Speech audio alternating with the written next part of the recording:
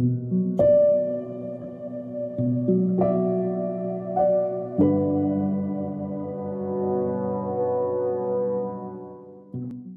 marks the 75th anniversary of the Sri Lanka Association for the Advancement of Science. 29th July 1944, it was started as the Ceylon Association of Science, uh, proposed, initiated by the then head of the Department of Chemistry of the University of Ceylon, where they, the Chemical Society passed a resolution that we should form a, combined uh, science association in, encompassing all the disciplines because Chemical Society was the oldest that was a professional association. Dr. Wadia, who proposed this, was made the first president of the Ceylon Association of, uh, of Science, and the second president was a well known Sri Lankan Professor W. A. Karunaratne, who was the professor of pathology at the University of Ceylon. With the declaration of republic, the name was changed to Sri Lanka Association for the Advancement of Science. And, and then it was incorporated by Act of Parliament with very definitive objectives to include pr promotion and ad of advancement of science, which means pure and applied, provide for systematic direction of scientific inquiry in the interests of the country, to promote contact among scientific workers, to hold an annual session to uh, disseminate their findings and then dissemination of knowledge and any other activity that is that may be necessary for the advancement of science in the country. Now, with this, uh, the, the Sri Lanka Association for Advancement of Science has now a vision statement which states to be scientifically advanced nation.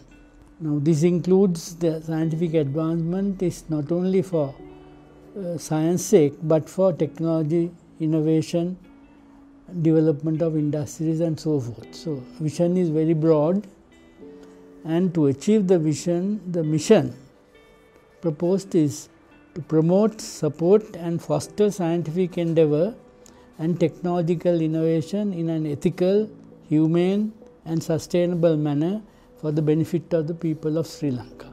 Now, one of the key issues at the beginning was the development of a crest for the SLAAS. And then Dr. N. D. Wijayasekara became president and he, he said, you know, we have talked about all these things, now let us produce some designs. And, and Dr. N. D. Wijayasekara, we went and met these designers and we spoke to them and we told them our ideas and told them two things. We told them the crest must reflect science as soon as you see it. Two, it must be entirely Sri Lankan. So with those two concepts, one person, I forget his name, but submitted this design, which was among several designs. So the council chose four or five of these designs and then I was left as general secretary and I decided to have a ballot. When, when the people got their books at the annual session, they were also given a ballot paper. And they were asked to vote, vote for the, these designs. I put these designs on four boxes, tea chests, and kept them outside King George's Hall. So the people voted, and this is the design that got the highest number of votes.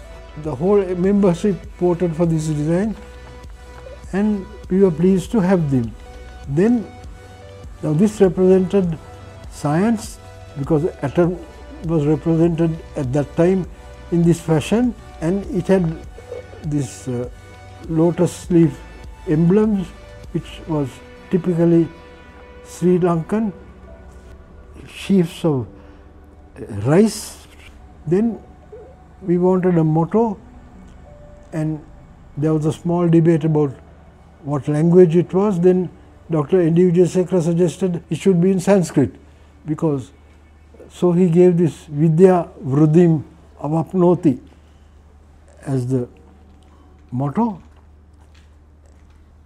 At that time he said science means progress and subsequently it was changed to science achieves progress. The objectives without going into the details and the divisions of the objectives, I would like to keep the objectives the macro scale which is the promotion and advancement of science.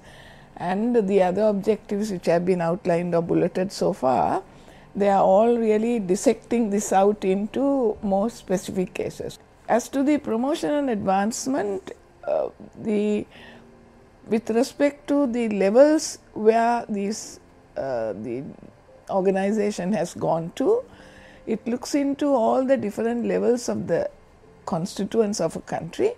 So, all the programs are focused, some of which are on the academics, the tertiary education, some on the technocrats, which will be the technical people who may not be the academic part of it, then the school children starting from the grade 1 onwards and then the public. So, these are the four levels which the organization uh, had been dealing with.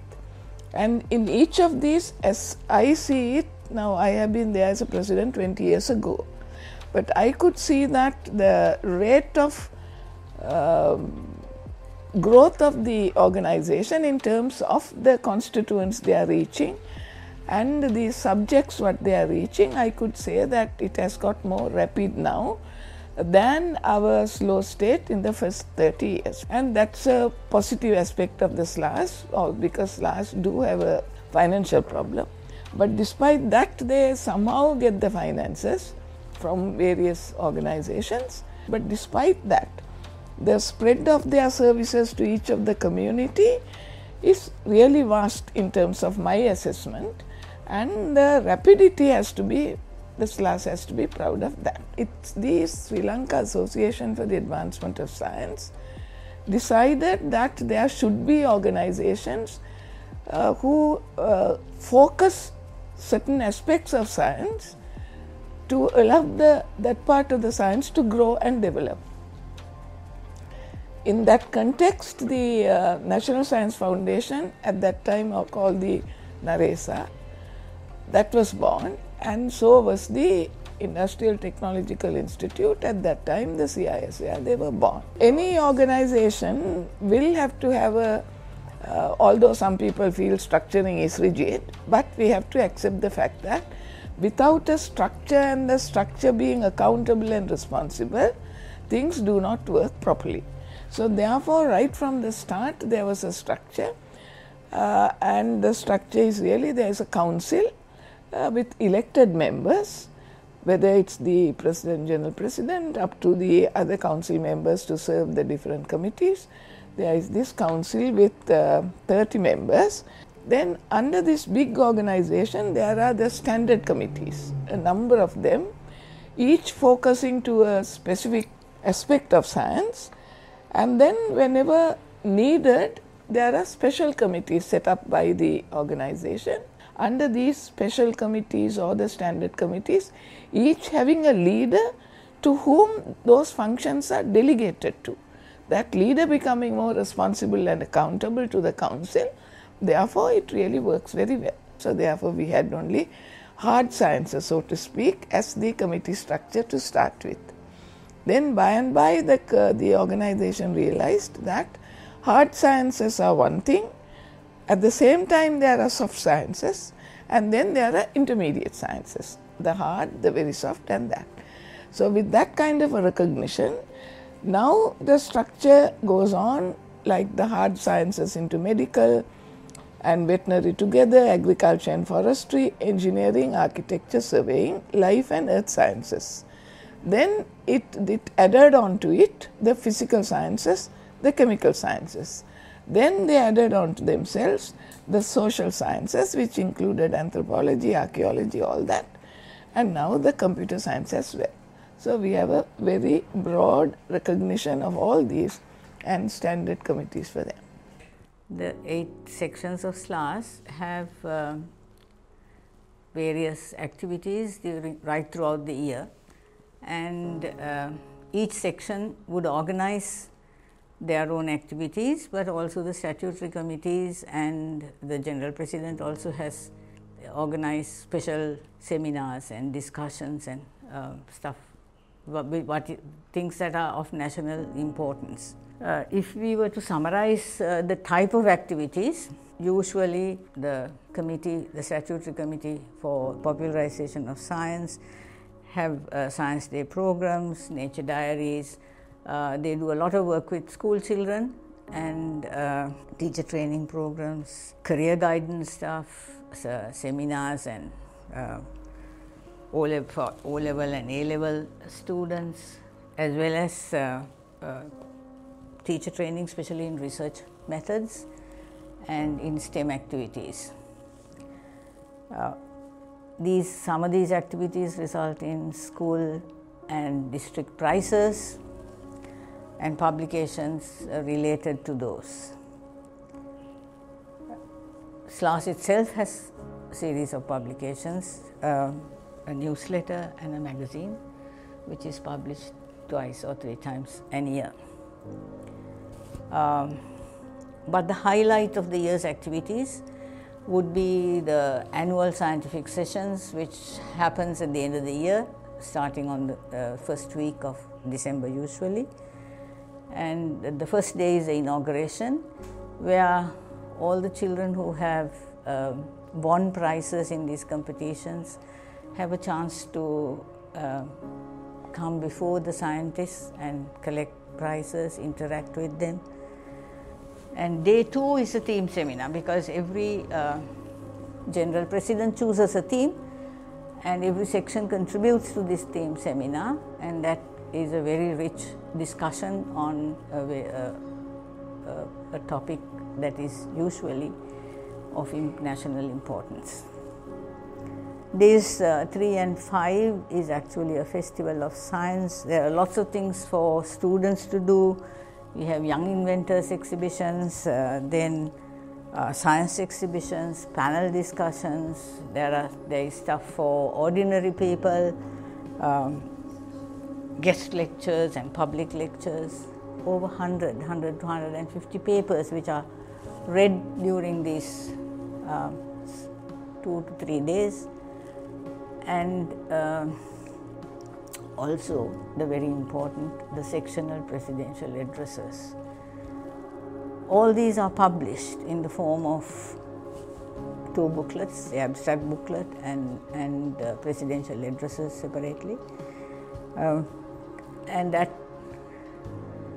actually is a reflection of the research that has been going on among the scientific community over that particular year or a couple of years from a couple of years before that. So that that's a very good reference to look at what's happening in the scientific world uh, in Sri Lanka. It's a festival of science, a week of science. But for me, the most important feature of SLAAS is that it's a, it brings together professional scientists from all disciplines of science. And that makes it much, much richer. The discussions, the seminars, the papers, it makes it much, much richer than uh, single professional body meetings. වසර එක්දස් නම්සේ හතලි සතරය විතර පටන්ගත්ත ශ්‍රී ලංකා විද්‍යාභි වර්ධන සංගමය දැන් හැත්ත පස්වනි වසර සමරන්ට ලැහැස්තුව සිටිනවා. ගත වූ අවුරුදු හැත්ත පහේ සම්ප්‍රදායක ජීවන කාලයක තත්ත්වය අනුව බැලුවොත් මුල් කාලයේදී නිසැකවම ඒ සංවිධානය සකස් කරපු අය ඉදිරිය බලලා සංවිධානයේ යායුතු මාර්ගය කොහෙදි කියන එකට හුඟක්ම කැපවෙල වැඩ කරලා තියෙන බව අපි දන්නවා. ඊට පස්සේ මැදිවියට පැමිණිලා අවසානයේදී වයසට යනකොට අපිට වෙන්න හැමදාම ආපසු හැරිල බලන්ට විතරයි.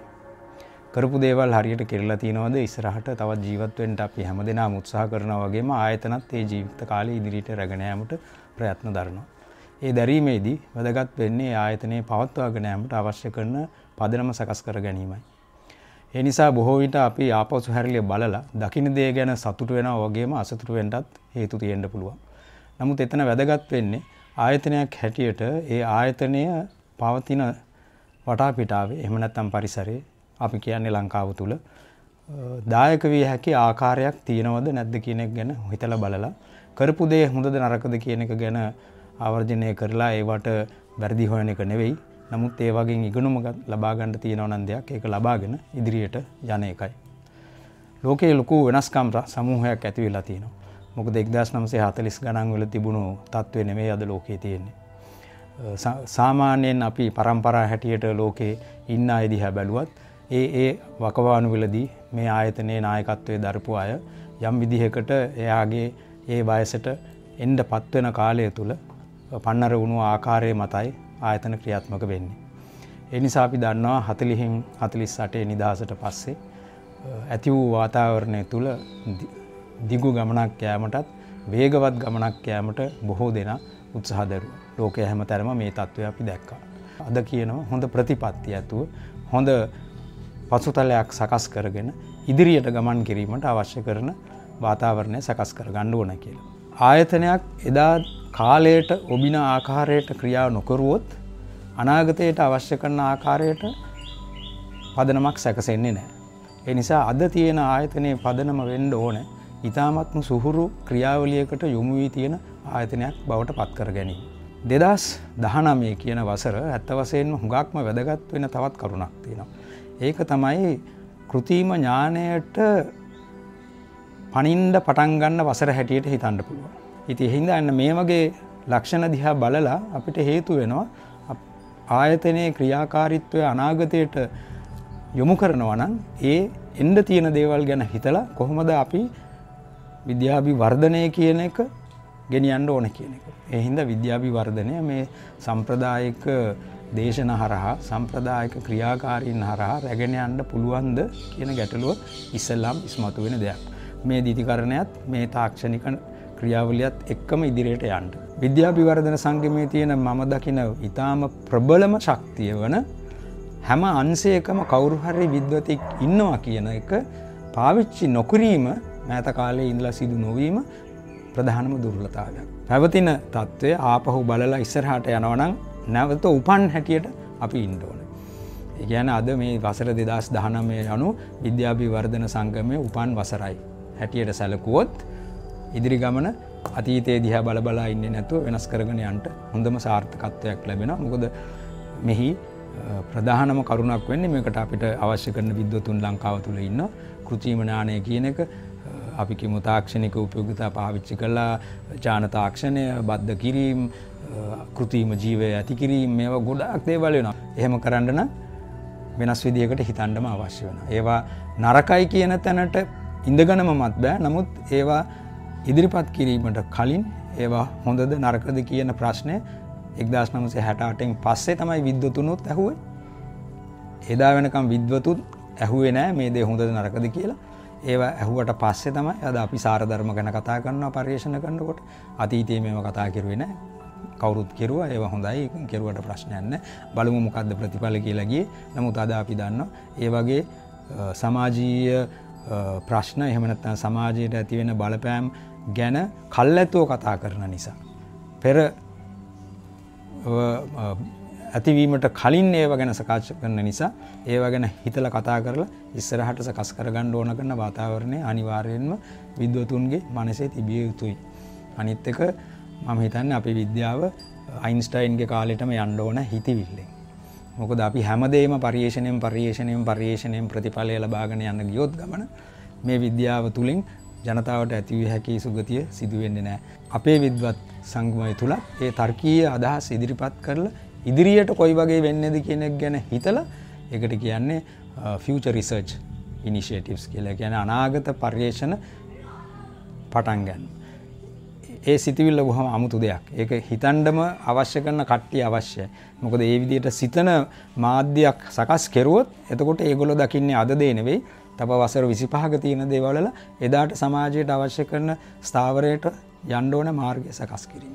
ඒ නිසා අර නැවත උපන්නාය සිතා ගන්නවා නම් 2019 75 වසරකට පස්සේ අන්න ඒ බීජය වැපිරීම අනිවාර්යයෙන්ම දැන් සිදුවිය යුතුයි. එතකොට විද්‍යාවිවර්ධන සංගමයේ අභිමානය තිබුණානං ආයතනික වසයෙන් රටේ ඉදිරි ගමනට දායකවෙන්ට අතීතය අවස්ථාවක් ඒක නැවත ලැබෙනවමයි.